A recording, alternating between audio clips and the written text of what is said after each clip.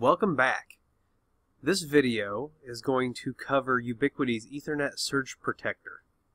And I don't know if you've seen this or not. If you go to their website, www.ubnt.com, and you go to Products and then Accessories, you will find the Ethernet Surge Protector. And what this does is this device sits in between two other devices, and if there's a surge, this will uh, take the brunt of that surge protecting your devices. So real quick, before I actually show you the device, let's see what Ubiquiti has to say about it.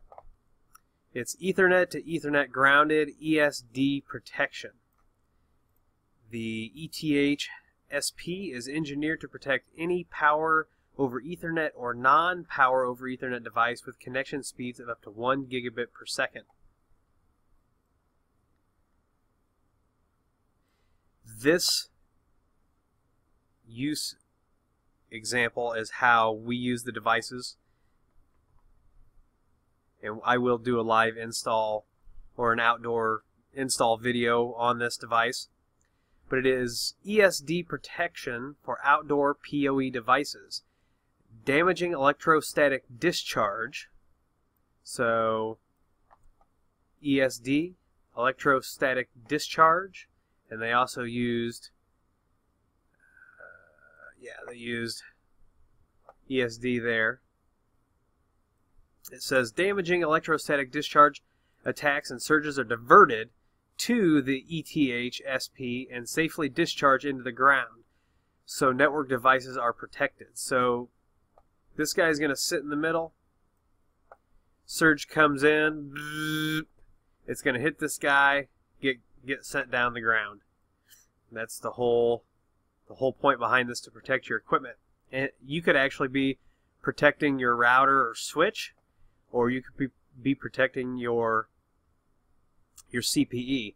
You know, we, we all make these investments time, money, equipment. You know, I think I pay $12 a piece for this device. And in my opinion, it's very cheap insurance. So it does go on to talk about that this is additional ESD protection because all Ubiquiti AirMax devices are equipped with built-in ESD protection.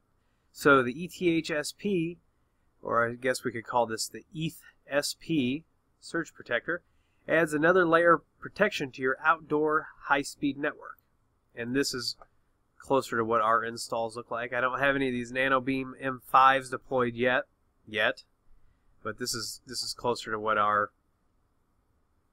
install looks like, and our pipes are usually where we do our grounding.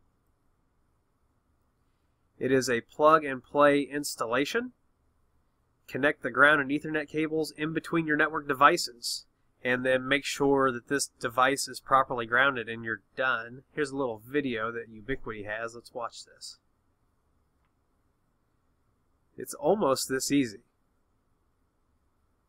Yeah, that's a self-tapping screw that it comes with. Ethernet in or out, it, it doesn't matter. Oh, there's a little surge that came in and this play button didn't go away, but you saw a little surge come in and, and hit the device. So you can go out to their website, check out that video. You can download the the data sheet or the quick start guide, and we're going to transition over and I'll show you the device real quick. Alright, so here is the actual device itself. Comes in a nice slick little little package. Wouldn't expect anything less from Ubiquiti at this point. So we'll open it up and see what it comes with.